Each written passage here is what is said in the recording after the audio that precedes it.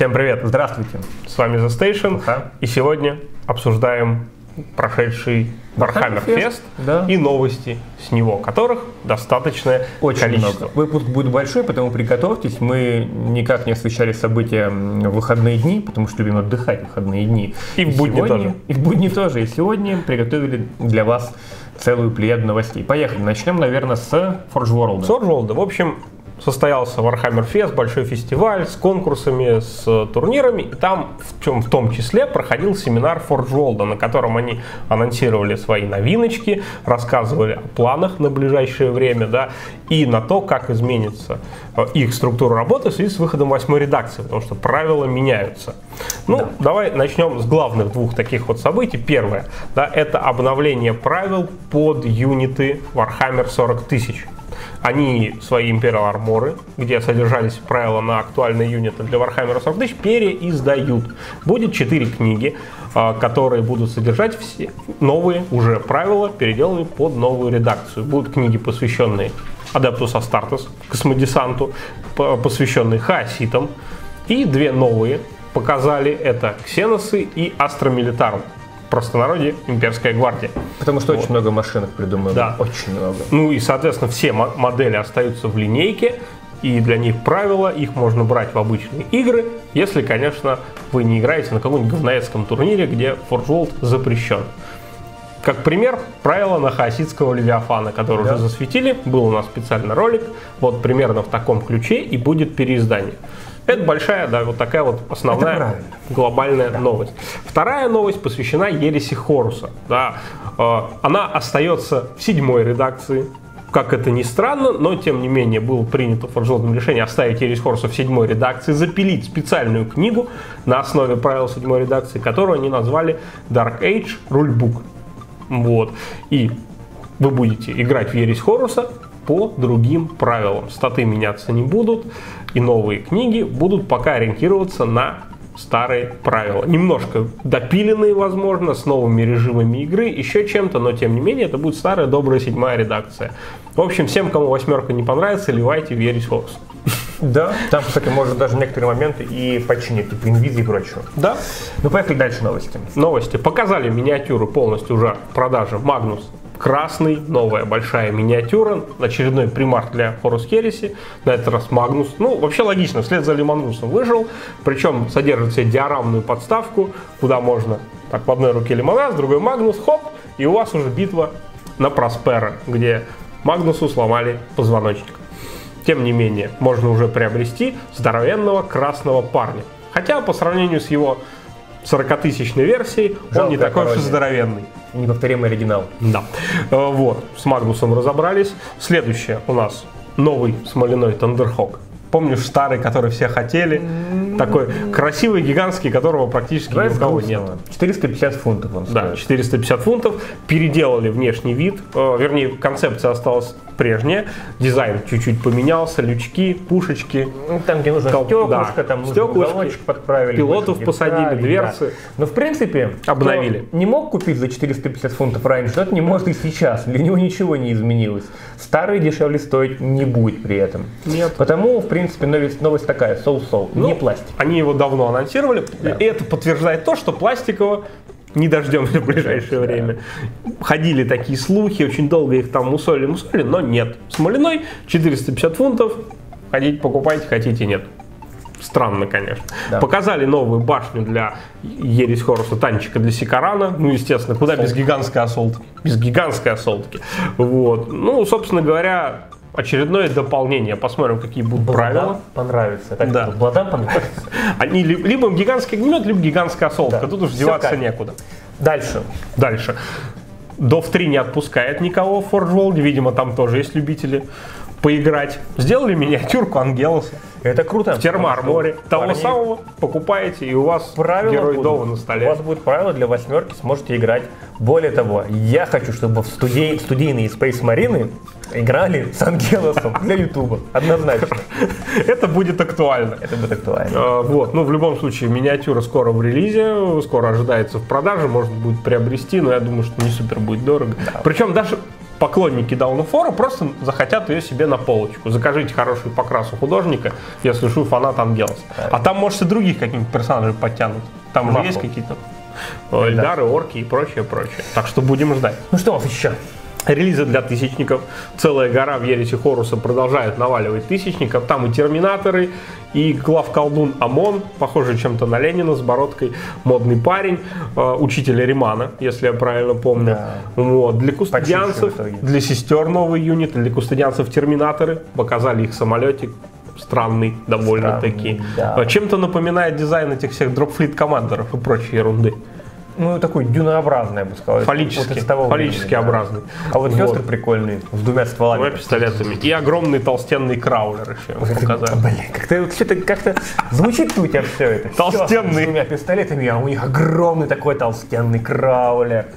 Из песни слов не выкинешь. ну, ты же справедливо. понимаешь. Самое интересное, что рассказали на Форджолдовском семинаре. Следующая книга по Ереси Хорус. Ну, для фанатов, опять же, Ереси Хоруса. И этой отдельной теперь игровой системы. Остались вы в семерочке, поэтому книжка выходит уже со старым дизайном, со старыми правилами. интересно это будет. будет называться «Ангелус» книжечка. Она посвящена нескольким вещам, связанным с ангелами, не поверите. Причем сразу с двумя. С темными и с кровавыми. Будет кампейн про темных ангелов и найтлордов. Поход, крестовый поход Трамос системы. Будет э, Сигнус Прайм, компания за обладов против демонов. Жесть. Туда же добавляют Dark Механикумов, события и кампейны правила, посвященные Dark Механикум, и обновляют лист демонов. Поскольку полноценное столкновение Империума вот с глобальным контингентом, с целой демонической планетой произошло как раз у Бладов в Сигнус Прайме, там будут демонические орды. Там-то навалят нормальные наконец правила. Не просто там каких-то демонов напризывали, а реально с грейтерами какими-то и прочей, прочей ерундой. То есть такая глобальная следующая книга, которая хорошо двигает бэк Ереси Хоруса. В общем-то, наверное, и Про. Вальдера рассказали, что у нас показали нам картинку типа Вальдера, лицо. Я бы сказал, это такой ангел из Диабло 3 какой-то, свеженький. Ну, очень странный рендер, конечно. Да. И Вармаш. Прям, знаешь, какие-то вензели ослепляют и острые Мне кажется, это лица. первая версия. Все будет Да, немножко иначе. А, ну и обычный Imperial Armor продолжают почему-то его делать, правда, уже под восьмерку. Следующий Imperial Armor будет посвящен, как ни странно, Тау, потому что для них сделали дофига роботов в Варджи. Правила нужно обновлять. Очень популярная фракция. Огромных шестиствольных э, Не продолжай. роботов покупают все. Не продолжай. Они будут сражаться с красными скорпионами. Это вот орден. подумал. Да, это орден спейсмаринов от Forge World, их основной, который они придумали еще в, там, в третьем или в четвертом Империал Арморе. И механикумами. Опять же, апгрейды нас ждут на механикумов. Без рыцарей тоже никуда, естественно. Придумают какой-нибудь отдельный Самое дом рыцарей и прочее, прочее. Это арты, которые Да. они придумали и разместили на Warhammer Fest. Арты просто потрясающие. Если такая картинка будет на, ну, хотя бы через страничку в этих книгах, просто будут покупать из-за оформления, независимо от правил. Ну и хотя бы восьмерка. Все-таки Это они да. не оставили их в семерке и переделали Империал Арморы Ну все, с форжой в новый путь. Да. Она кончила изрыгать из себя уже все это. дело. Ох, да, я думаю, Что у нас что дальше? Достаточно. Хоббит. Хоббит, давай 40 уже. чё Давай не, давай Хоббит. А, хорошо. Поддержим. Поддержим. Заверь, 40 в самом конце. Конечно. Хорошо. Значит, э, почему-то решили, что все-таки Хоббит и Властелин колец, много денег заплачено за лицензию, деваться некуда, давайте скрещивать эти две системы. И получаем новую игру, новую старую игру. В 2018 году вас ждет переосмысление Лотра и Хоббита. Это Middle Earth, Средиземье. Боевая стратегическая игра, как они ее анонсируют, с кучей новых миниатюр. Форж продолжает много. пилить миниатюры для Хоббита, каких-то гномов, э, озерный город еще продолжают, в общем, выпускать героев и все туда, в общем, в одну кучу можно Террейн, смешать. главное. Главное, они выпускают террейн, который можно везде использовать. И что самое интересное, будет похоже на Battle for Middle Earth. Помнишь, такая была стратегия? Даже две части, по-моему, было Да. ее. Неплохо. Примерно то же самое нас ждет. И, видимо, механика будет ближе к новой редакции восьмерочки, что-нибудь более интересное, скажем так, и динамичное. Ну вот через год посмотрим. Посмотрим. Что- У них есть год, чтобы Да. все это привести Да. в порядок, оттестировать, раз Коробку уже подготовить. показывают рендеры миниатюр, уже какие-то новые релизы, потому что там куча каких-то из Хоббита троллей, там Да, дополнительно да, да. какие-то гоблины, Слушай, ну, целая может армия. стрельнуть. Вот просто может стрельнуть, если будет массово интересно и большие коробки, будет понятно, как собирать. Можно сделать играть. банально кампейн первый, это битва пяти армий, а там уже разберутся. Ну, понадеемся. Была, опять же, настольная игра «Битва пяти армий» от Цитадели, от Games Workshop. Ну, посмотрим. Blood Bowl. Blood Bowl. Конечно, самая топовая система от Games Workshop. Продолжают ее накачивать. Как, опять же, говорили на семинаре, как, опять же, говорили в интервью, на фесте Blood Bowl хорошо продался. Games Workshop довольны продажами, говорят, что хорошо покупают, интерес возвращается. Forge World делает старплееров, выпускает такой жир... Ну, вышла книжка, э, второй сезон. Выпускает жирных крыс каких-то. Офигенных А, жирных да. крыс, подчеркиваю, Толстых. офигенных жирных крыс. жирных крыс, еще каких-то старплееров Forge этим занимается. Показали миниатюрку Минотавра, игрока хаоситской команды большую. Э, Делают теперь неопреновые поля для Bowl. Теперь кон- кончились картонные раскладушки, теперь коврик расстелили, красиво играть. Для любой команды разные дизайны. Кубики продолжают фигачить любой команды. Обещают больше полей, больше кубиков, больше старплееров. Ну, конечно, больше пластиковых команд. На данный момент уже выпустили 5 коробок. Старплееров теперь можно брать всегда и везде, в любую команду. Да. Теперь Всегда, да. даже на базу. И плюс-минус обещают еще, что даже какие-то будут пластиковыми старплееры.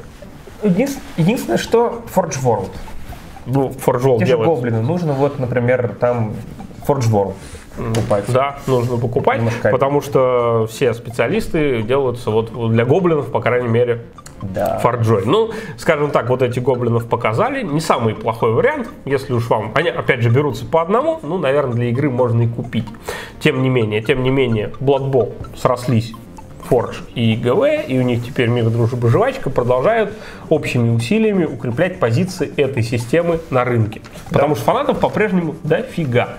Эльфы там всякие еще выпускают. Да, следующую уже команду как бы показали тоже рендеры. Это эльф- эльф- эльфийский союз, Эльвин Юнион, следующее, где все эльфы дружат и играют вместе. Ну вот посмотрим, что это будет смола, пластик, поглядим. Давай 40к теперь, Ну, самому сладкому. Да, самое сладкое это 40. Кстати, по 40 новостей не то чтобы дофига, потому что все сконцентрировалось Восьмой. вокруг восьмой редакции и нового стартера. В первую очередь все хотели посмотреть на новый стартер, показали литники, показали уже покрашенные миниатюры вживую, там люди смогли посмотреть, видео, фоточек полно, показали разнообразных примарисов, покрашенных бладов, волков, в дарков, то есть примарисы продолжают свое наступление, гигантские спейс марины во все ордена попадают. И, собственно говоря, без этого-то как раз и никуда. Дредноут. Да. Самое интересное, новый большой дредноут. Зачем Space Marine рыцарь?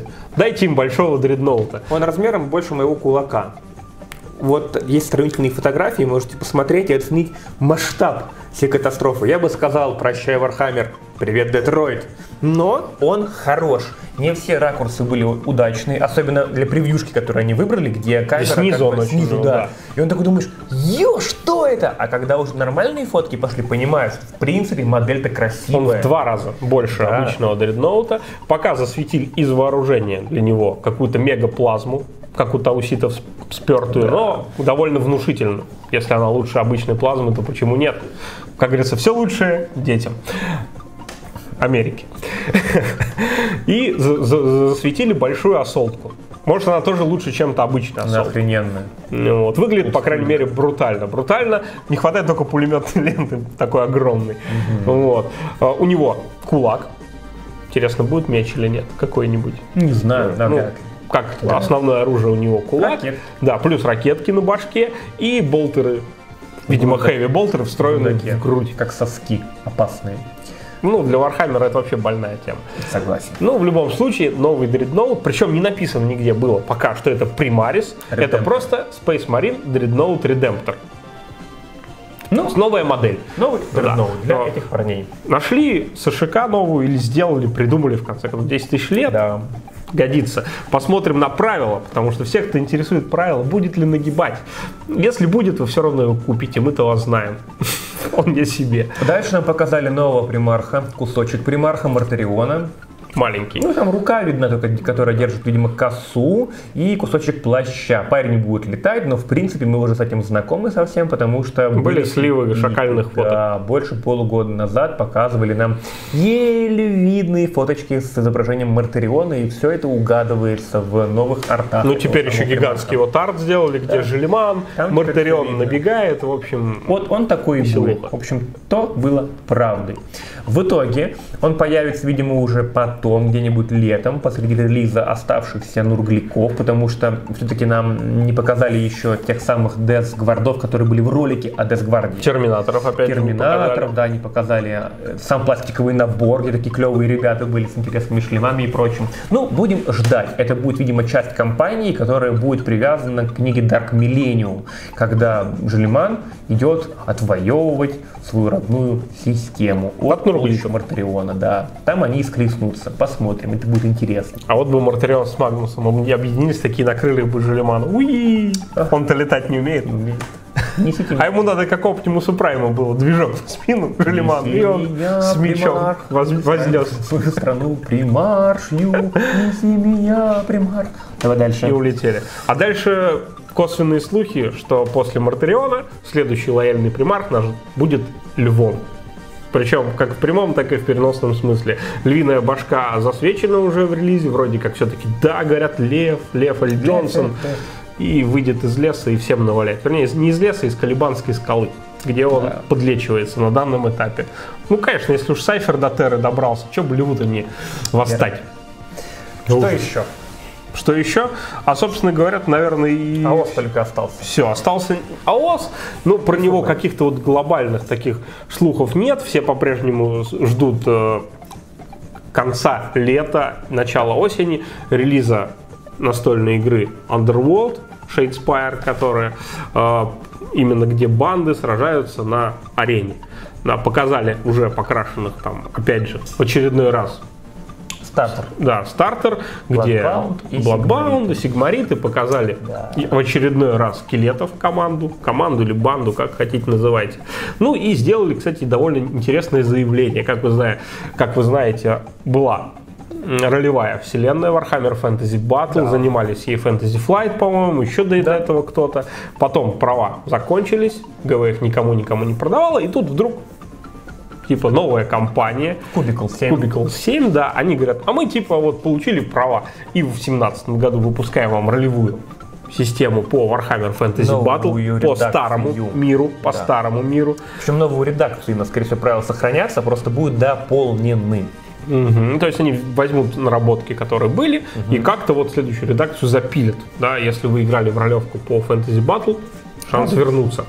И в следующем году, после того, как они посмотрят на отдачу от фэнтези мира, да, будет запилено уже в разработке Age of Sigmar Roleplay Games. То, чего не хватало всему миру века Сигмара. То есть проработки детальной каких-то жизненных аспектов многих фракций, социальной сферы и прочего, прочего, прочего.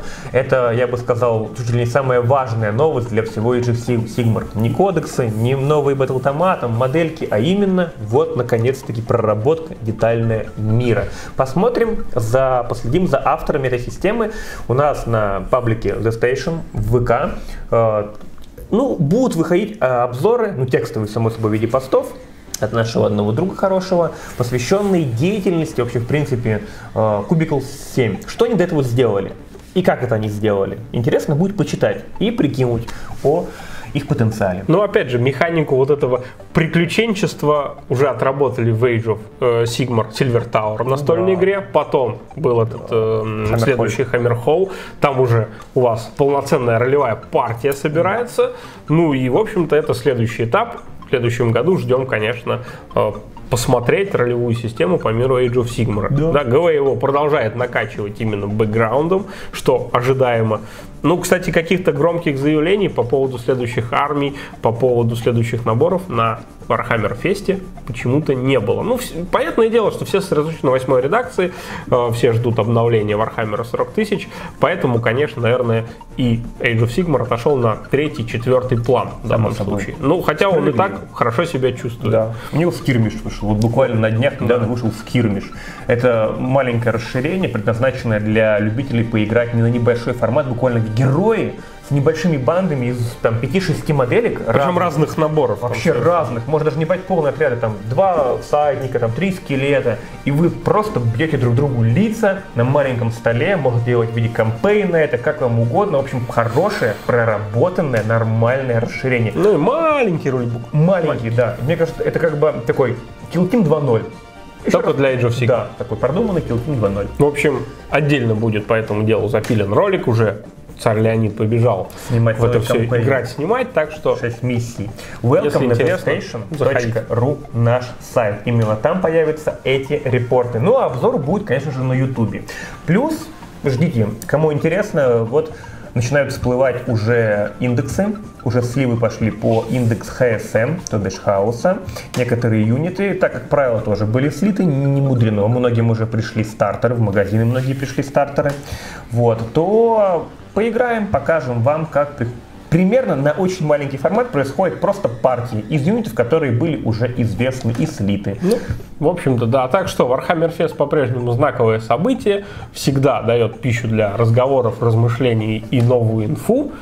Ну, посмотрим, ждем следующего. Может, когда-нибудь даже соберемся там, побываем вживую. Вам обязательно тоже об этом расскажем. Быть может. Ну, а пока все, новости ждите уже теперь. Следующие выпуски там уже конкретно по Фракции. новым фак- фракциям. Это то, что восьмерочка продолжает релизиться еще целых две недели. Ждем до 17 числа. Спасибо, что смотрели. С вами были The Station, Андрей Иван. Рассказали про Warhammer Fest. Всем спасибо, пока.